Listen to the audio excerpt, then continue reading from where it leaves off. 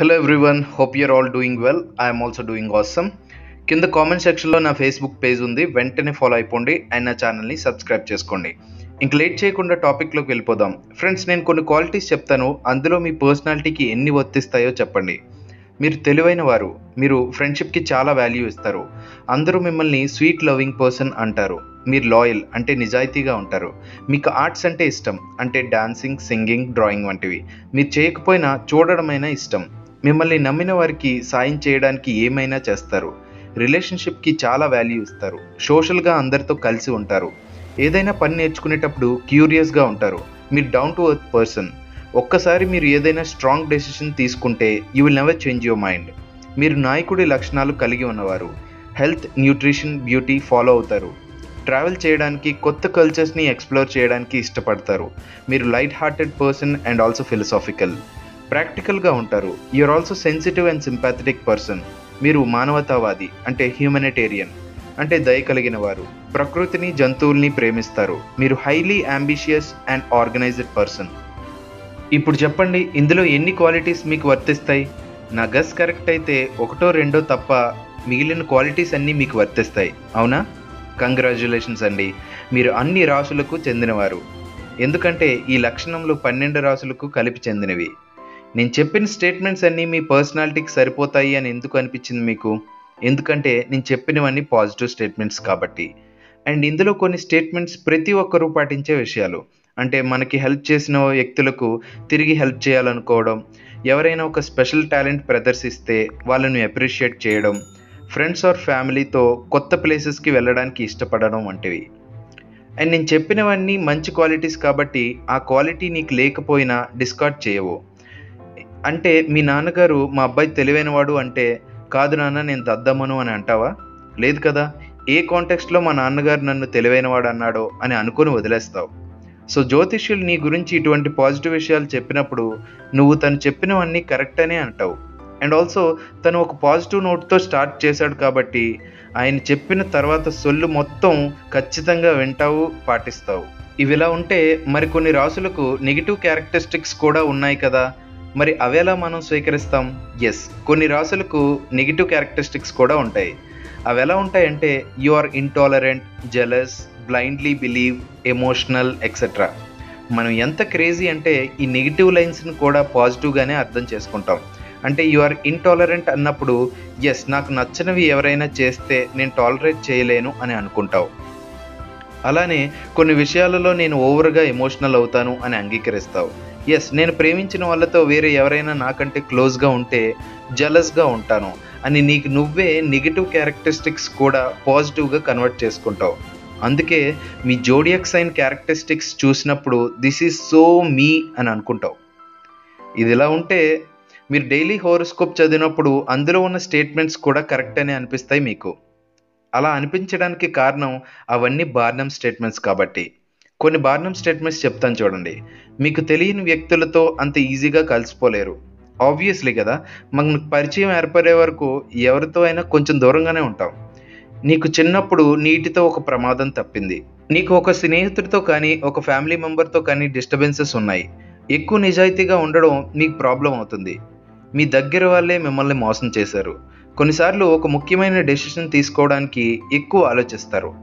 ఇవ్వండి ఇలా ఉంటాయి.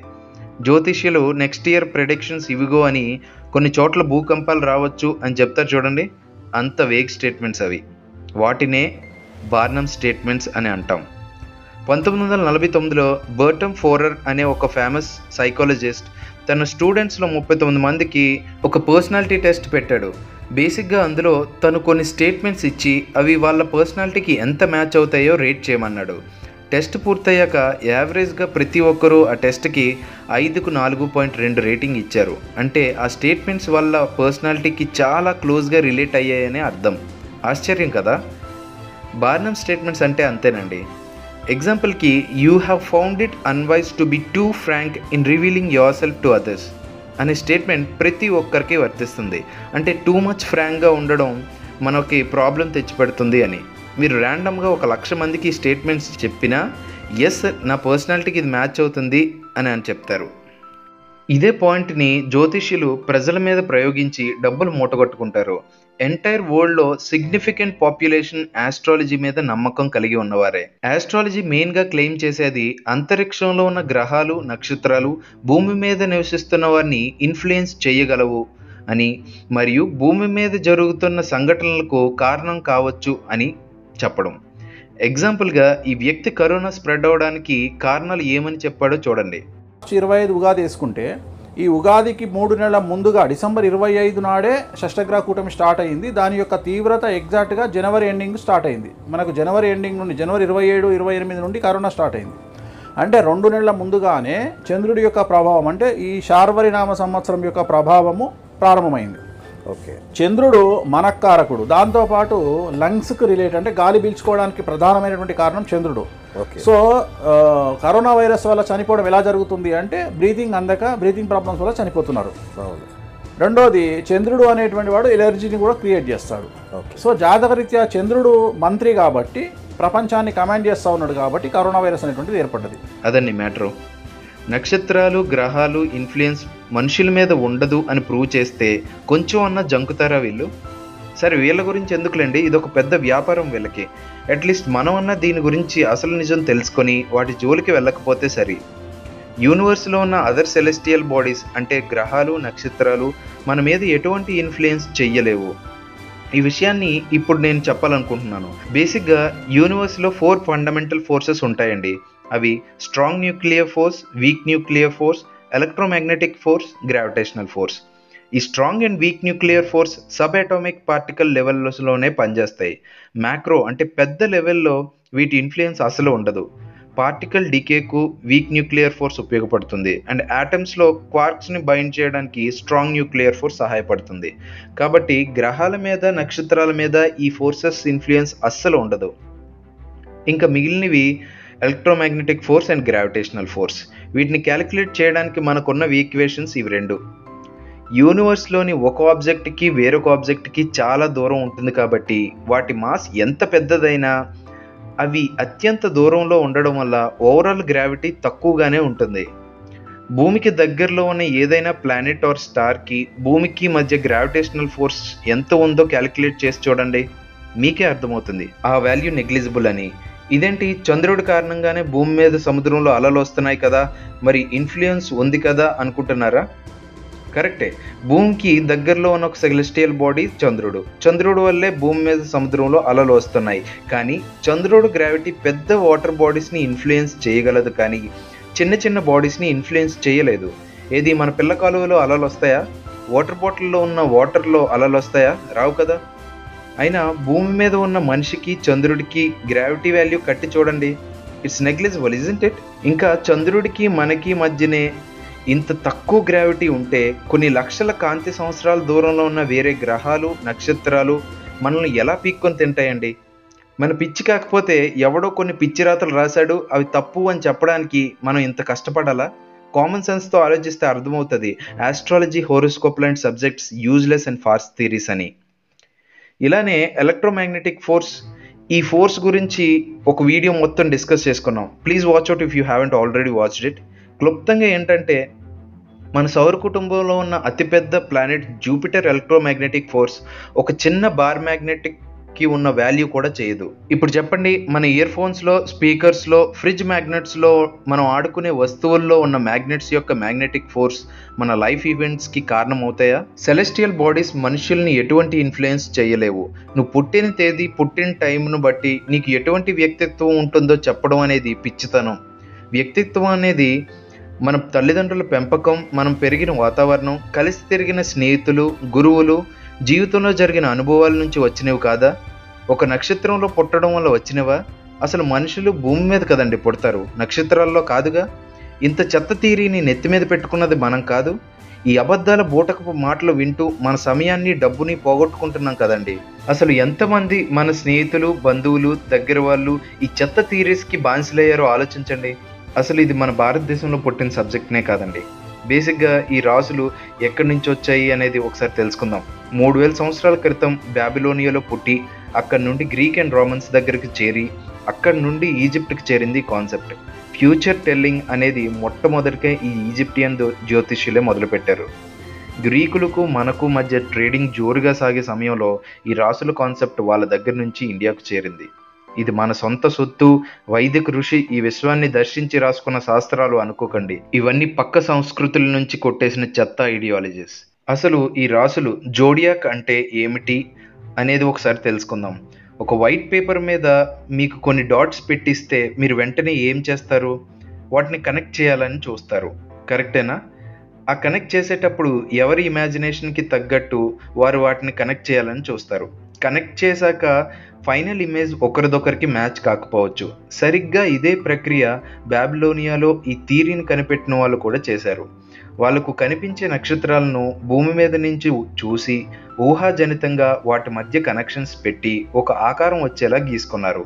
వాటినే రాశి అని పిలిచారు. అవి భూమి మీద ఉన్న వారి బ్రతుకులను ఇన్ఫ్లుయెన్స్ చేయగలవు అన్నారు. వారి ఇమాజినేషన్ టూ మచ్ కాకపోతే ఐదారు చుక్కలు కలిపితే ఇంత కాంప్లెక్స్ డయాగ్రామ్స్ ఎలా వస్తాయండి?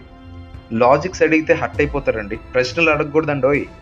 మరి ఇన్ని రాశులు ఎలా వచ్చాయి అని తెలుసుకోవాలంటే మనం ఎక్లిప్టిక్ అనే పదానికి అర్థం తెలుసుకోవాలి. మనం సూర్యుని చుట్టూరు తిరుగుతుంటాం.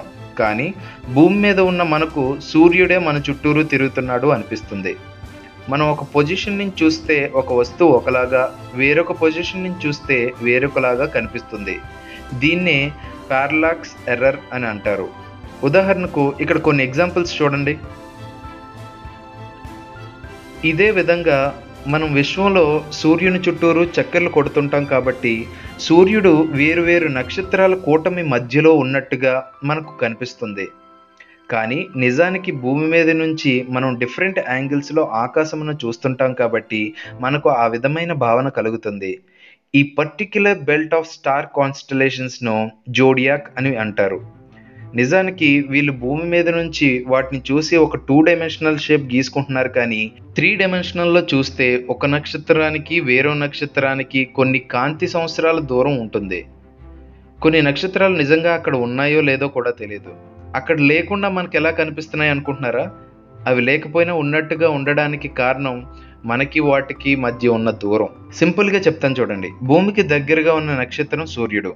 కానీ సూర్యుడి నుంచి వచ్చిన కాంతి భూమికి చేరడానికి ఎనిమిది నిమిషాల ముప్పై ఒక సెకండ్లు పడుతుంది. అంటే సూర్యుడు సడన్గా డిజపేర్ అయిపోయినా మనకు ఎనిమిది నిమిషాల ముప్పై ఒక సెకండ్ల వరకు అక్కడే ఉన్నట్టుగా కనిపిస్తుంది. అలానే అతి దూరంలో ఉన్న ప్లూటో నుంచి చూస్తే సూర్యుడు మాయమైన ఐదున్నర గంటల వరకు సూర్యుడు అక్కడే ఉన్నట్టుగా కనిపిస్తాడు. అదే మన దగ్గరలో ఉన్న ఆల్ఫా సెంచురీ స్టార్కి సూర్యుడు మాయమైన నాలుగు పాయింట్ మూడు సంవత్సరాల వరకు సూర్యుడు ఉన్నట్టుగానే కనిపిస్తాడు. ఎందుకంటే సూర్యుడు కాంతి ఆల్ఫా సెంచురీ స్టార్కి చేరడానికి నాలుగు పాయింట్ మూడు సంవత్సరాలు పడుతుంది.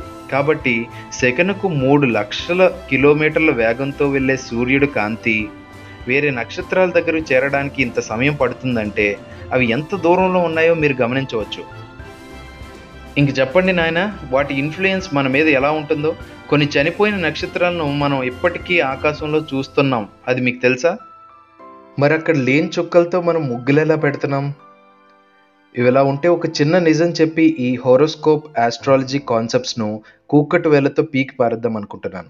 అదే ఎర్త్స్ ప్రెసెషన్. సపోజ్ స్పీడ్గా వెళ్తున్న కార్లో మీరు ఉన్నప్పుడు కార్ టర్నింగ్ తిరుగుతున్నప్పుడు సెంట్రిఫ్యూగల్ ఫోర్స్ వల్ల మీరు పక్కకు వాలిపోతారు కదా? ఎగ్జాక్ట్గా ఇదే ఫోర్స్ వల్ల నిత్యం తిరుగుతున్న భూమి కూడా హారిజంటల్గా కొంచెం బల్జ్ అయి ఉంటుంది. అందుకే నార్త్ అండ్ సౌత్ మధ్య దూరం కంటే భూమధ్య రేఖ యొక్క దూరం ఫార్టీ త్రీ కిలోమీటర్స్ ఎక్కువ ఉంటుంది. So earth is not perfect sphere. ఈ వూంబ్లింగ్ వలన ఒక టాప్ తిరుగుతున్నప్పుడు టాప్ టిప్ ఎలా సర్కిల్స్ వేస్తుందో అలానే ఎర్త్స్ యాక్సెస్ కూడా సర్కిల్స్ వేస్తుంది. ఒక కంప్లీట్ సర్కిల్ వేయడానికి ట్వంటీ సిక్స్ థౌజండ్ ఇయర్స్ పడుతుంది.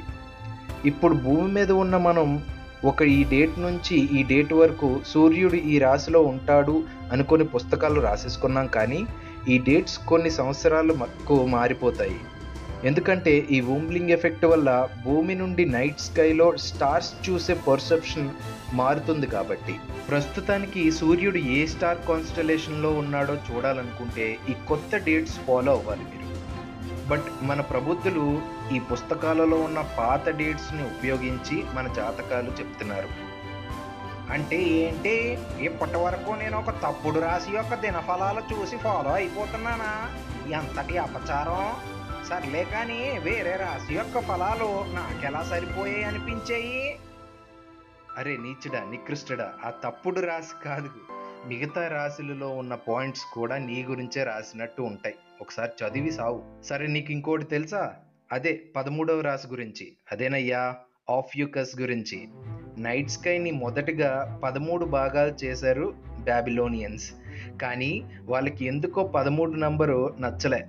సో ట్వెల్వ్కి ఫిక్స్ అయ్యి ఆ పదమూడవ రాశిని వదిలేశారు. ఏంటి వాళ్ళ ఇష్టమా అనుకుంటున్నావా? అవును వాళ్ళ ఆట వాళ్ళ ఇష్టం. వాళ్ళ రూల్స్ వాళ్ళ రెగ్యులేషన్స్. ఆ పిచ్చి ఆటని నువ్వు ఆడతావో లేదో అనేది నీ ఇష్టం. ఈ విషయాన్ని బస్ట్ చేయడానికి ఇంత సైన్స్ అవసరం లేదండి. కామన్ సెన్స్తో ఆలోచిస్తే ఈ భూమి మీద జన్మించిన ఏ ఇద్దరి జీవితమైనా ఒకేలా ఉంటుందా? వీళ్ళ క్యాలిక్యులేషన్స్ ప్రకారం పెటర్నల్ ట్విన్స్ అంటే ఒకేసారి జన్మించిన బిడ్డలు జీవితం ఒకేలా ఉండాలి. అలా ఉంటున్నాయా? వారిద్దరిలో వేరువేరు భావాలు వేరువేరు ఇష్టాలు. సో రాసులు నక్షత్రాలు గోల వీడుద్దాం. వివేకంతో ముందుకు అడుగులు వేద్దాం.